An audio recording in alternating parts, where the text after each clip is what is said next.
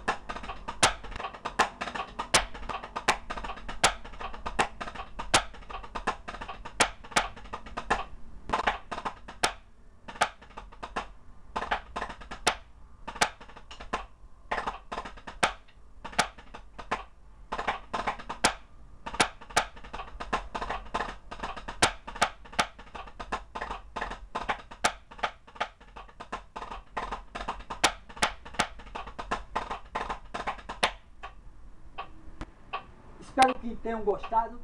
Esses foram os 40 rudimentos.